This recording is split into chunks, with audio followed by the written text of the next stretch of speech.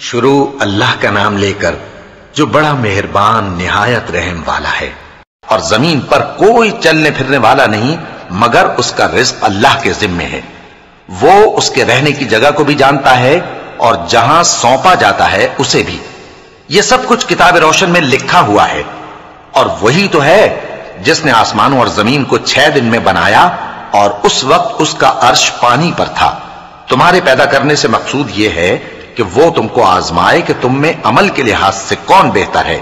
और ए नबी, अगर तुम कहो कि तुम लोग मरने के बाद ज़िंदा करके उठाए जाओगे तो काफिर कह देंगे कि ये तो खुला जादू हुआ। और अगर एक मुद्दत मुन तक हम इनसे अजाब रोक दें तो कहेंगे कि कौन सी चीज़ अजाब को रोके हुए है? देखो, जिस रोज वो इन पर वाक़ होगा, फिर टलने का नहीं। और जिस चीज़ का ये मज़ाक उड़ाते हैं, वो इनको घेर लेगी। और अगर हम इंसान को अपने पास से नेमत बख्शें, फिर इससे उसको छीन ले तो नाउम्मीद और नाशुक्रा हो जाता है। और अगर तकलीफ़ पहुँचने के बाद आसाइश का मज़ा चखाएँ तो खुश होकर कहता है कि सब सख्तियाँ मुझसे दूर हो गई। बेशक वो है ही खुशी में मस्त हो जाने वाला, बड़ा फख्र जताने वाला। हाँ, जिन्होंने सब्र किया और अमल नेक किए, यही हैं जिनके लिए बख्शिश और अजर अजीम है। तो शायद तुम कुछ चीज़ वही में से जो तुम्हारे पास आती है छोड़ दो, और इस ख्याल से तुम्हारा दिल तंग हो कि काफिर ये कहने लगे कि इस पर कोई खजाना क्यों नहीं नाजिल हुआ, या इसके साथ कोई फरिश्ता क्यों नहीं आया? ए नबी, तुम तो सिर्फ़ नसीहत करने वाले हो, और अल्लाह हर चीज़ का निगहबान है। क्या ये लोग कहते हैं कि इसने कुरान अस खुद बना लिया है? कह दो कि अगर सच्चे हो तो तुम भी ऐसी दस सूरतें बना लाओ। और अल्लाह के सिवा जिस जिस को बुला सकते हो बुला भी लो। बस अगर वो तुम्हारी बात कबूल न करें तो जान लो कि यह कुरान अल्लाह के इल्म से उतरा है और यह कि उसके सिवा कोई माबूद नहीं। तो क्या तुम लोग इस्लाम लाते हो? जो लोग दुनिया की ज़िंदगी और उसकी जेब जीनत के तालिब हों, हम उनके अमाल का बदला उन्हें दुनिया ही में दे देते हैं और उसमें उनकी हक तलफी नहीं की जाती। ये वो लोग हैं जिनके लिए आखिरत में आतश जहन्नम के सिवा और कुछ नहीं। और जो अमल उन्होंने दुनिया में किए सब बर्बाद, और जो कुछ ये करते रहे, सब जाया हुआ। भला जो लोग अपने परवरदिगार की तरफ़ से दलील रोशन रखते हों, और उनके साथ एक आसमानी गवाह भी उसकी जानब से हो। और इससे पहले मूसा की किताब हो, जो पेशवा और रहमत है तो क्या वो कुरान पर ईमान नहीं लाएँगे? यही लोग तो इस पर ईमान लाते हैं, और जो कोई और फिरकों में से इससे मुनकर हो तो उसका ठिकाना आग है तो तुम इस कुरान से शक में ना होना। ये तुम्हारे परवरदिगार की तरफ़ से हक है, लेकिन अक्सर लोग ईमान नहीं लाते। और उससे बढ़कर जालिम कौन होगा जो अल्लाह पर झूठ बांधे? ऐसे लोग अपने रब के सामने पेश किए जाएँगे और गवाह कहेंगे कि यही लोग हैं जिन्होंने अपने परवरदिगार पर झूठ बोला था। सुन रखो कि जालिमों पर अल्लाह की लानत है। जो अल्लाह के रस्ते से रोकते और उसमें कजी चाहती हैं और वो आखिरत का भी इनकार करते हैं। ये लोग ज़मीन में कहीं छुपकर अल्लाह को हरा नहीं सकते और न अल्लाह के सिवा कोई इनका हिमायती है। ए पैगंबर, इनको दुगना अजाब दिया जाएगा क्योंकि ये शिद्दत कुफ्र से तुम्हारी बात नहीं सुन सकते थे और न तुमको देख सकते थे। यही हैं जिन्होंने अपने आप को खसारे में डाला और जो कुछ ये इफ्तरा किया करते थे, इनसे जाता रहा। बिलाशुबा ये लोग आखिरत में सबसे ज़्यादा नुकसान पाने वाले हैं। जो लोग ईमान लाए और अमल नेक किए और अपने परवरदिगार के आगे आजिजी की, यही साहिब जन्नत हैं, हमेशा इसमें रहेंगे। दोनों फरीकों यानी काफिर और मोमिन की मिसाल ऐसी है जैसे एक अंधा बहरा हो और एक देखता सुनता। भला दोनों का हाल यकसा हो सकता है? फिर तुम सोचते क्यों नहीं?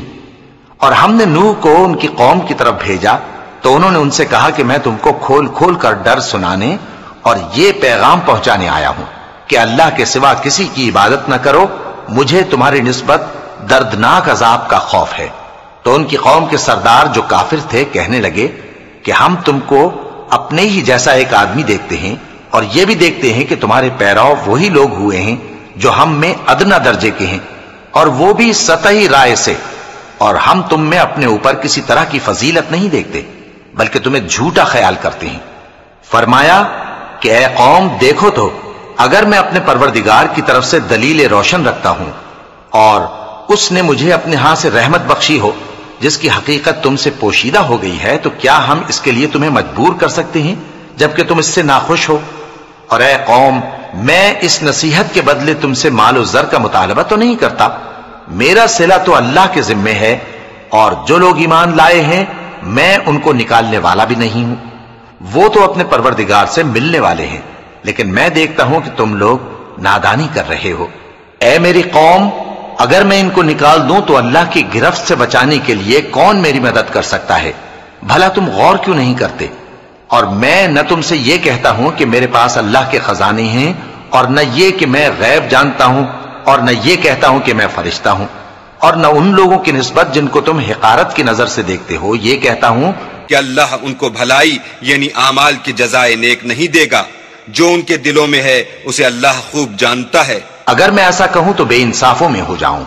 उन्होंने कहा कि नूह तुमने हमसे झगड़ा तो किया और झगड़ा भी बहुत किया। अब अगर तुम सच्चे हो तो जिस चीज़ से हमें डराते हो वो हम पर ला नाजिल करो। नूह ने कहा कि उस अजाब को तो अल्लाह ही चाहेगा तो नाजिल करेगा। और तुम अल्लाह को किसी तरह हरा नहीं सकते। और अगर मैं ये चाहूँ कि तुम्हारी खैर खाही करूँ और अल्लाह ये चाहे कि तुम्हें गुमराह रहने दे तो मेरी खैर खाही तुमको कुछ फ़ायदा नहीं दे सकती। वही तुम्हारा परवरदिगार है और तुम्हें उसी की तरफ़ लौट कर जाना है। क्या ये लोग कहते हैं कि इस पैगंबर ने कुरान अपने दिल से बना लिया है? कह दो कि अगर मैंने दिल से बना लिया है तो मेरे गुनाह का वबाल मुझ पर, और जो गुनाह तुम करते हो, उससे मैं बरी उस जिम्मा हूँ। और नूह की तरफ़ वही की गई कि तुम्हारी कौम में जो लोग ईमान ला चुके ला चुके। उनके सिवा और कोई ईमान नहीं लाएगा। तो जो काम ये कर रहे हैं, उनकी वजह से गम न खाओ। और एक कश्ती हमारे हुक्म से हमारे सामने बनाओ। और जो लोग जालिम हैं, उनके बारे में मुझसे कुछ न कहना, क्योंकि वो ज़रूर गर्क कर दिए जाएँगे। और नूह ने कश्ती बनाना शुरू कर दी, और जब उनकी कौम के सरदार उनके पास से गुजरते तो उनसे तमस्खुर करते। वो कहते कि अगर तुम हमसे तमस्खुर करते हो तो जिस तरह तुम हमसे तमस्खुर करते हो, उसी तरह एक वक्त हम भी तुमसे तमस्खुर करेंगे। और तुमको जल्द मालूम हो जाएगा कि किस पर अजाब आता है जो उसे रुसवा करेगा, और किस पर हमेशा का अजाब नाजिल होता है। यहाँ तक कि जब हमारा हुक्म आ पहुँचा और तन्नूर जोश मारने लगा तो हमने नूह को हुक्म दिया कि हर किस्म के पालतू जानवरों में से जोड़ा जोड़ा यानी एक एक नर और एक एक मादा ले लो और जिस शख्स की निस्बत हुक्म हो चुका है कि हलाक हो जाएगा, उसको छोड़कर अपने घर वालों को और जो ईमान लाया हो, उसको कश्ती में सवार कर लो। और उनके साथ ईमान बहुत ही कम लोग लाए थे। नूह ने कहा कि अल्लाह का नाम लेकर कि उसी के कर्म से इसका चलना और ठहरना है, इसमें सवार हो जाओ। बेशक मेरा परवरदिगार बख्शने वाला है, मेहरबान है। और वो उनको लेकर तूफ़ान की लहरों में चलने लगी। लहरें क्या थीं? गोया पहाड़ थे। उस वक्त नू ने अपने बेटे को, जो कश्ती से अलग था, पुकारा कि, बेटा, हमारे साथ सवार हो जा और काफिरों में शामिल न हो। उसने कहा कि, मैं अभी पहाड़ से जा लगूँगा, वो मुझे पानी से बचा लेगा। फरमाया कि, आज अल्लाह के अजाब से कोई बचाने वाला नहीं और न कोई बच सकता है, मगर वही जिस पर अल्लाह रहम करे। इतने में दोनों के दरमियान लहर हायल हो गई और वो डूब कर रह गया। और हुक्म दिया गया कि, ए ज़मीन, अपना पानी निगल जा और ए आसमान, थम जा। और पानी खुश्क हो गया और काम तमाम कर दिया गया। और कश्ती कोहे जूदी पर जा ठहरी और कह दिया गया कि बे इंसाफ लोगों पर लानत। और नूह ने अपने परवरदिगार को पुकारा और कहा कि, परवरदिगार, मेरा बेटा भी मेरे घर वालों में है, तू उसको भी नजात दे। तेरा वादा सच्चा है और तू बेहतरीन हाकिम है। अल्लाह ने फरमाया कि ए नूह वो तेरे घर वालों में नहीं है। वो तो सरासर बदअमल है। तो जिस चीज़ की तुमको हकीकत मालूम नहीं, उसके बारे में मुझसे दरखास्त ही ना करो। और मैं तुमको नसीहत करता हूँ कि नादान ना बनो।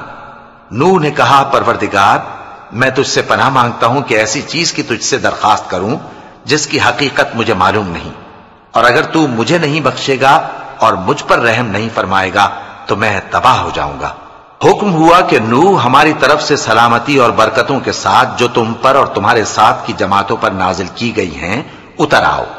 और कुछ और जमातें होंगी, जिनको हम दुनिया के फवायद से बहरामंद करेंगे, फिर उनको हमारी तरफ़ से अजाब अलीम पहुंचेगा। ये हालात गैब की खबरों में से हैं, जो हम तुम्हारी तरफ़ भेजते हैं।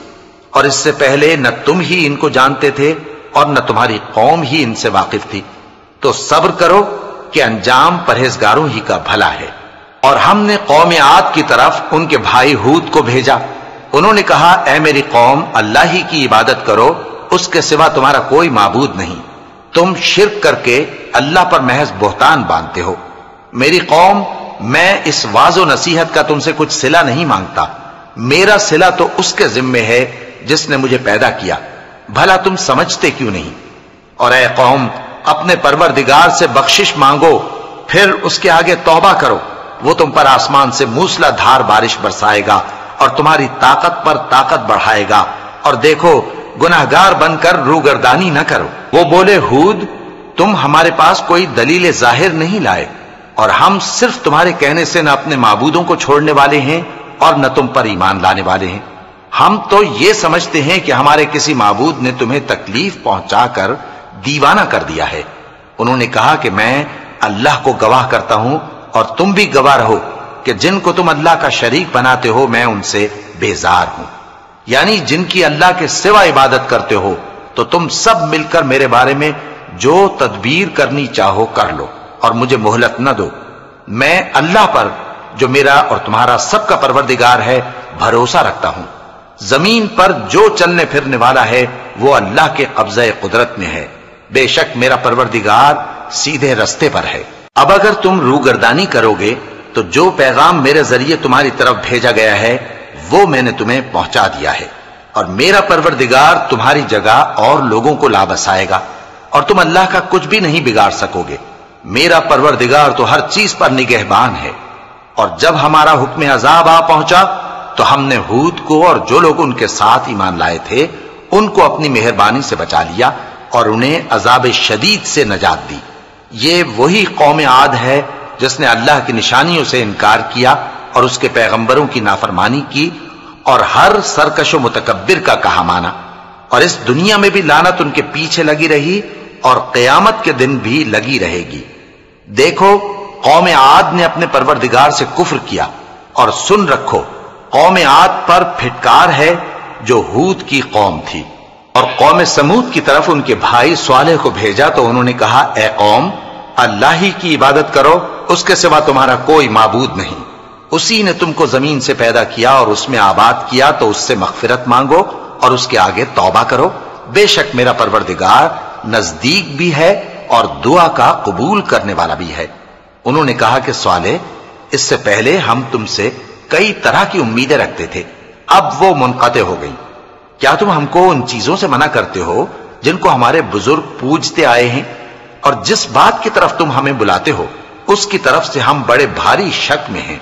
स्वाले ने कहा, ऐ मेरी कौम, भला देखो तो।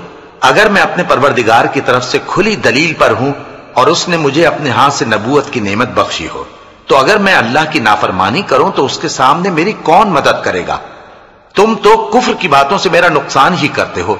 और यह भी कहा कि ए कौम, ये अल्लाह की ऊंटनी तुम्हारे लिए एक निशानी यानी मोजा है तो इसको छोड़ दो कि अल्लाह की ज़मीन में जहाँ चाहे चरती फिरे और इसको किसी तरह की तकलीफ़ ना देना, वरना तुम्हें जल्द अजाब आ पकड़ेगा। मगर उन्होंने उसको काट डाला तो स्वाले ने कहा कि अपने घरों में तीन दिन और फ़ायदे उठा लो।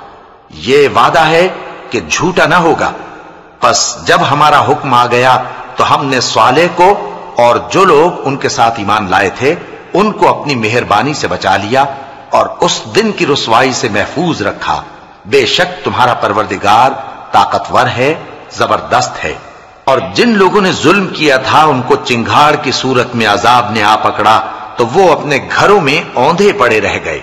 गोया कभी उनमें बसे ही न थे।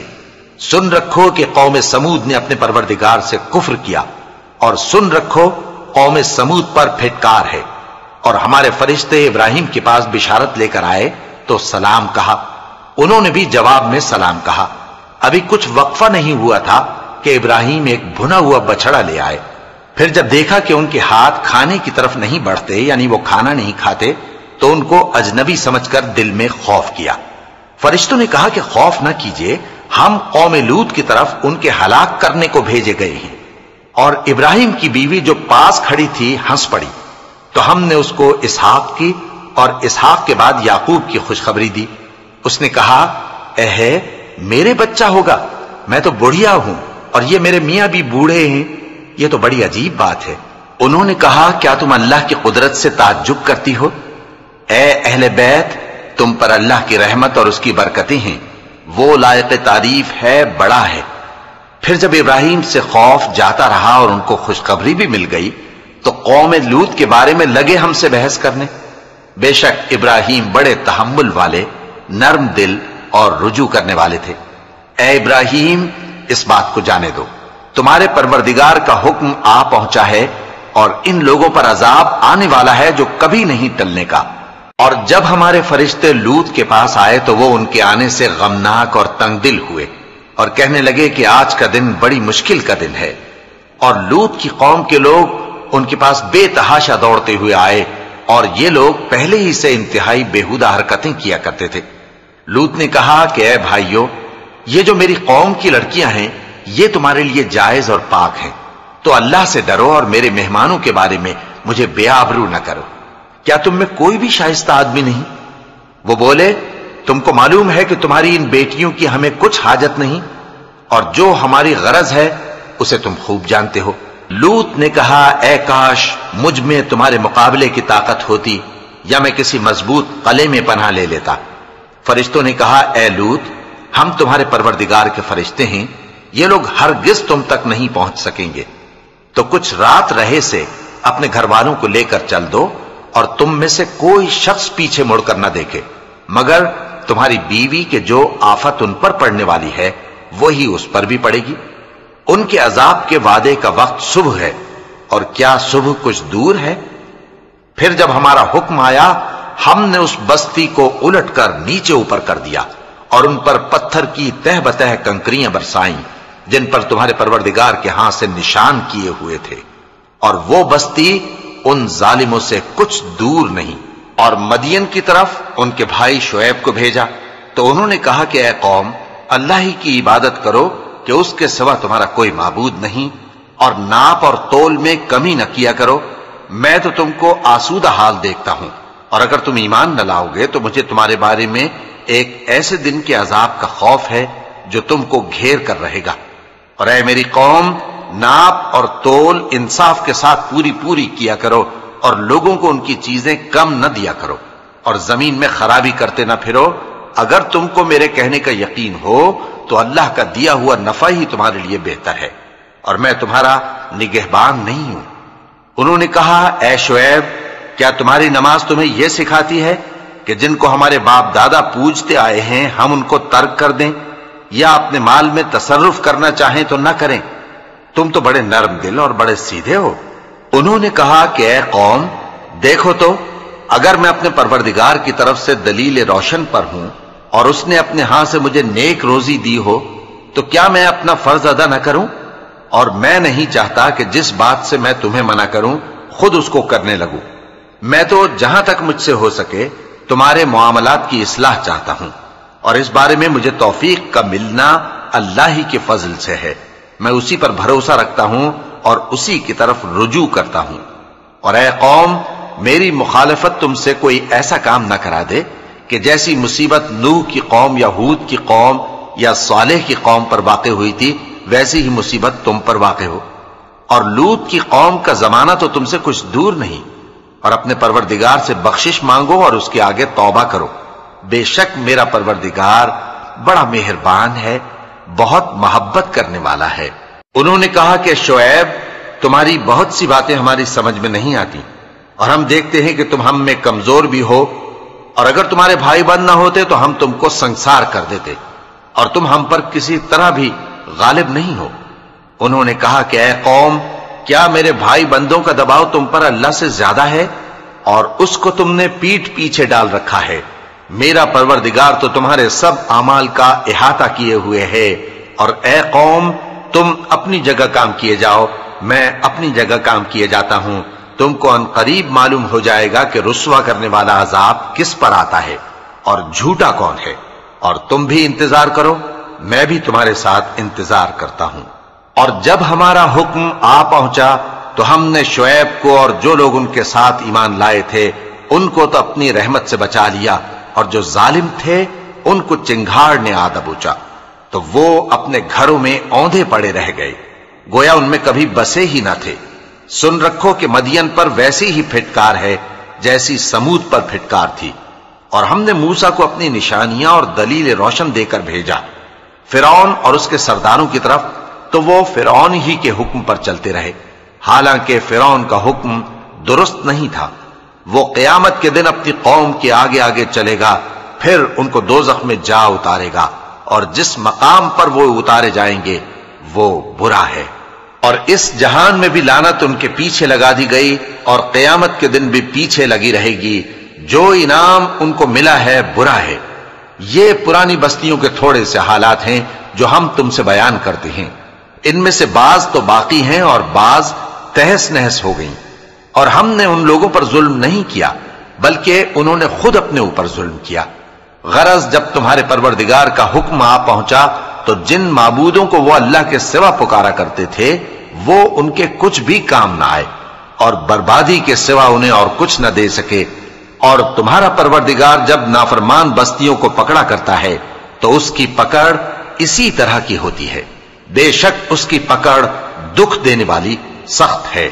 इन किस्सों में उस शख्स के लिए जो अजाब आखिरत से डरे इबरत है।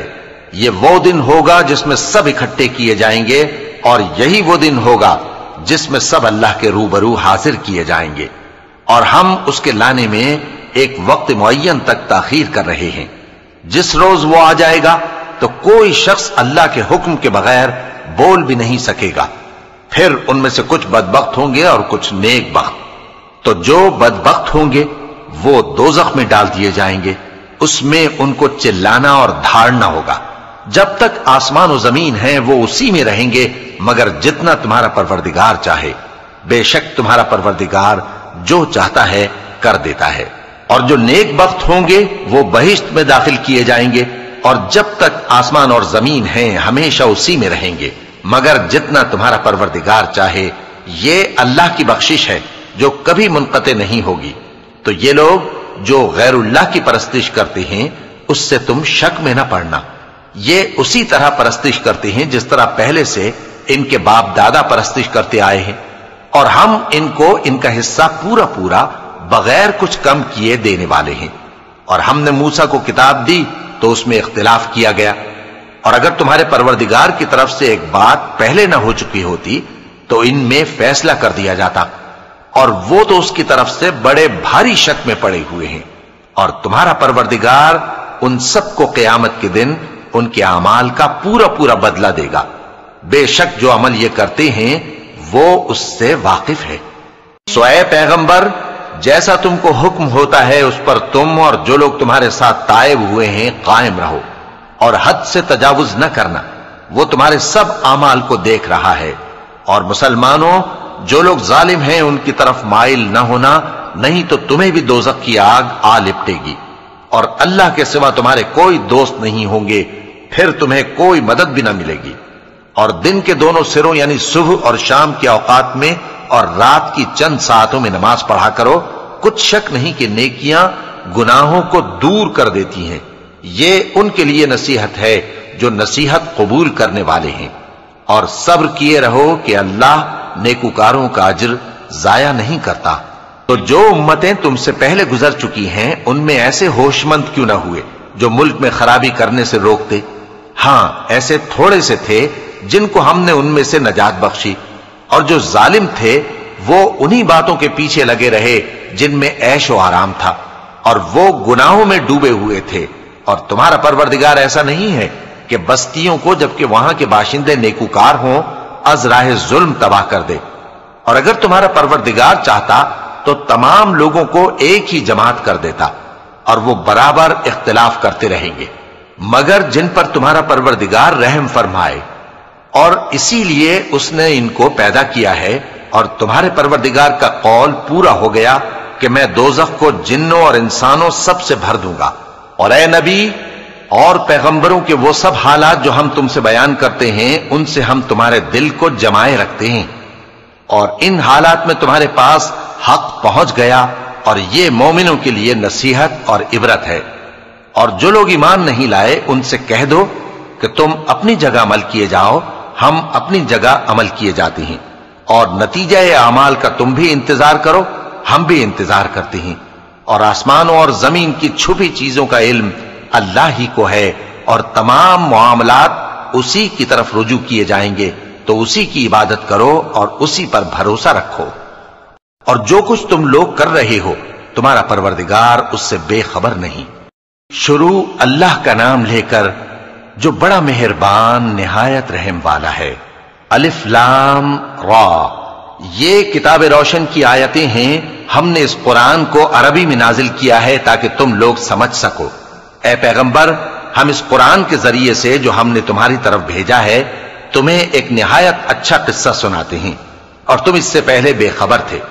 जब यूसुफ ने अपने वालिद से कहा कि, अब्बा, मैंने ख्वाब में ग्यारह सितारों और सूरज और चाँद को देखा है, देखता क्या हूँ कि वो मुझे सजदा कर रही हैं?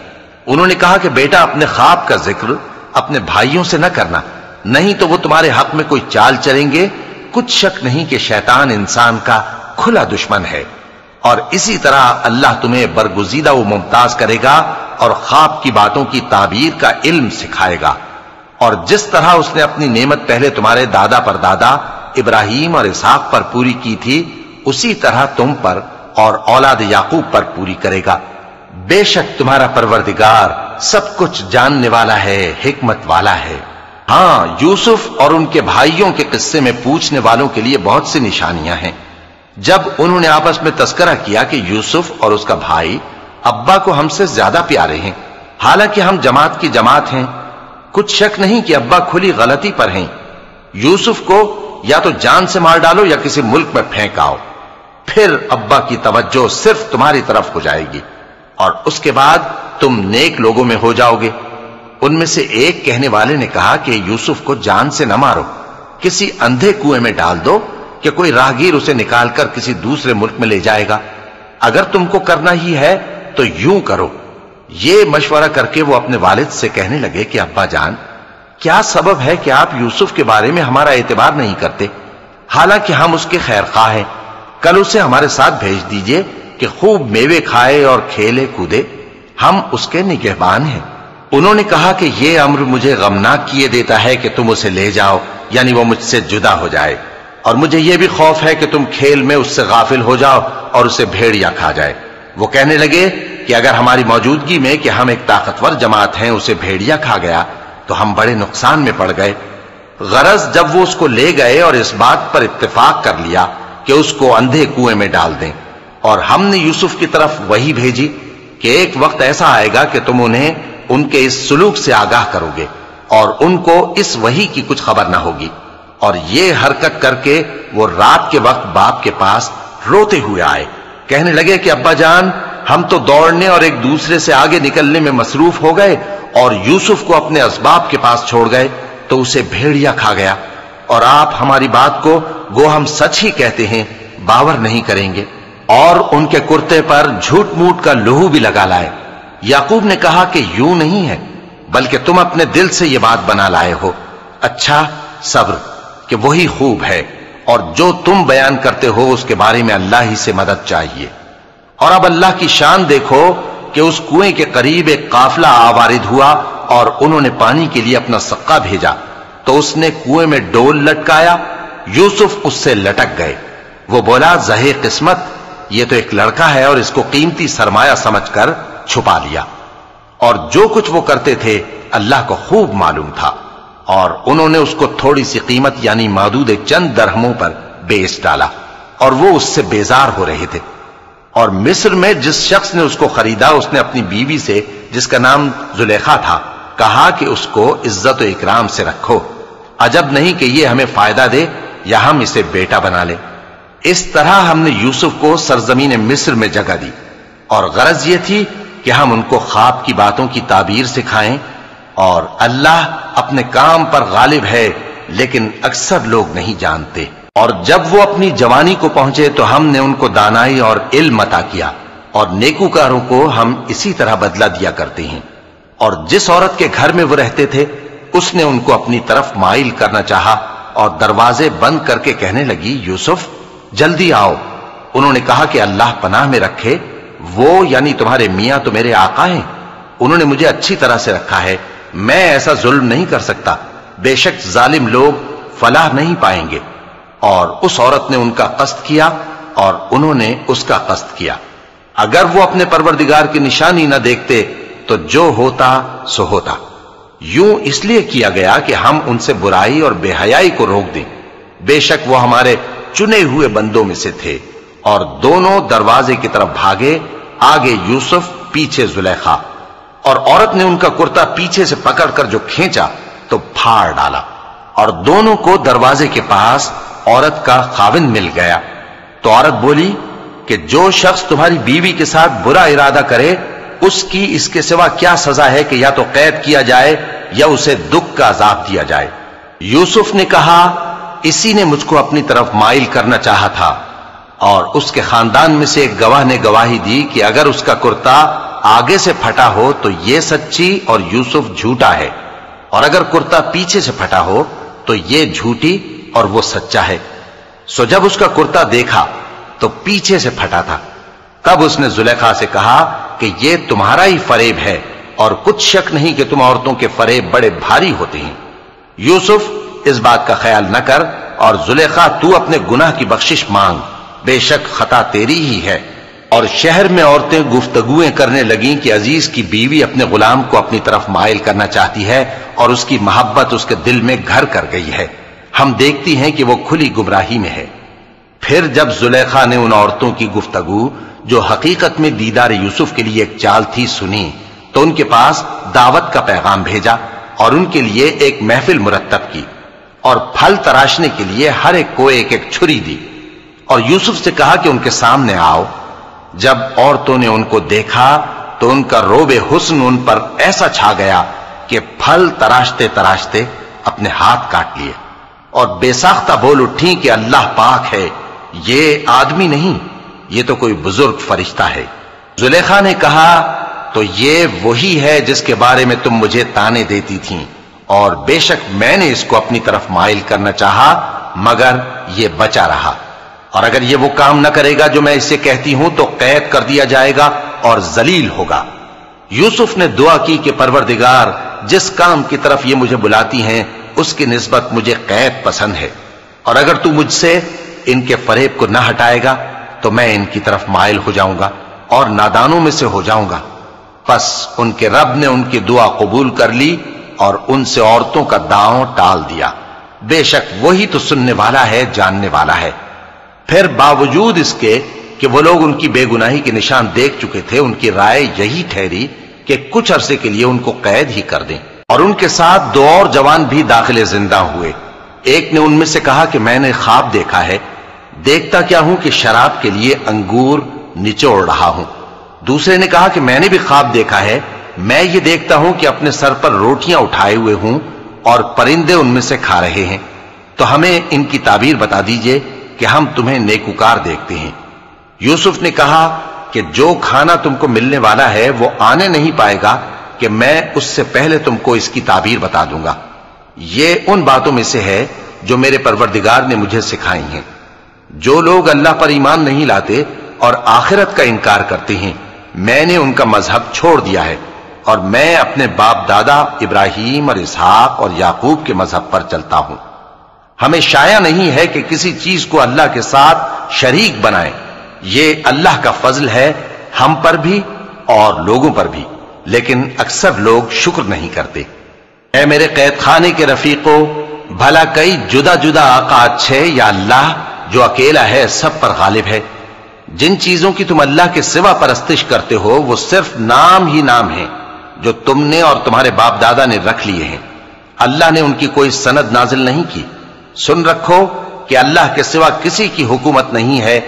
उसने इरशाद फरमाया है कि उसके सिवा किसी की इबादत न करो। यही सीधा दीन है। लेकिन अक्सर लोग नहीं जानते।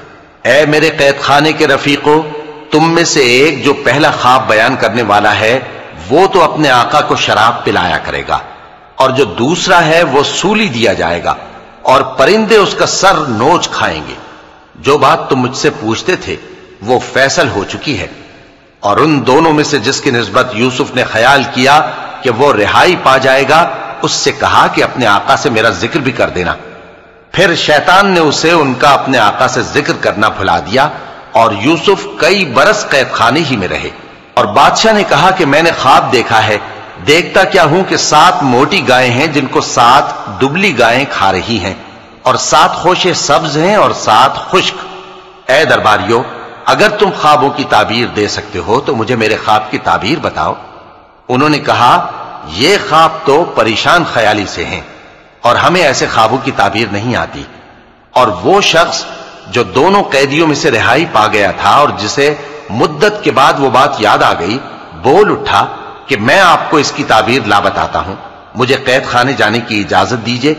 गरज वो यूसुफ के पास आया और कहने लगा, यूसुफ, ए बड़े सच्चे यूसुफ हमें इस ख्वाब की ताबीर बताइए कि सात मोटी गायों को सात दुबली गायें खा रही हैं और सात खोशे सब्ज हैं और सात सूखे, ताकि मैं लोगों के पास वापस जाकर ताबीर बताऊँ। अजब नहीं कि वो तुम्हारी कदर जाने। उन्होंने कहा कि तुम लोग सात साल मुतवातिर खेती करते रहोगे तो जो गल्ला काटो तो थोड़े से गल्ले के सिवा जो खाने में आए, बाकी को खोशों में ही रहने देना। फिर उसके बाद खुश्क साली के सात सख्त साल आएँगे। कि जो गल्ला तुमने जमा कर रखा होगा, वो उस सबको खा जाएँगे। सिर्फ़ वही थोड़ा सा रह जाएगा जो तुम एहतियात से रख छोड़ोगे। फिर उसके बाद एक ऐसा साल आएगा कि खूब मे बरसेगा और लोग उसमें रस निचोड़ेंगे।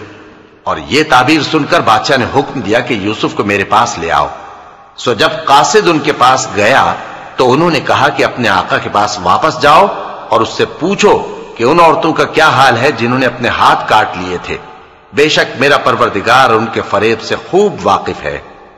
बादशाह ने औरतों से पूछा कि तुम्हारा क्या किस्सा था, जब तुमने यूसुफ को अपनी तरफ़ माइल करना चाहा? सब बोल उठी कि अल्लाह पाक है, हमने उसमें कोई बुराई मालूम नहीं की। अज़ीज़ की बीवी ने कहा, अब सच्ची बात तो ज़ाहिर हो ही गई है। असल यह है कि मैंने उसको अपनी तरफ़ माइल करना चाहा था, और वो बेशक सच्चा है। यूसुफ ने कहा कि मैंने ये बात इसलिए पूछी है कि अज़ीज़ को यकीन हो जाए कि मैंने उसकी पीठ पीछे उसकी अमानत में खयानत नहीं की और अल्लाह खयानत करने वालों की चाल को चलने नहीं देता।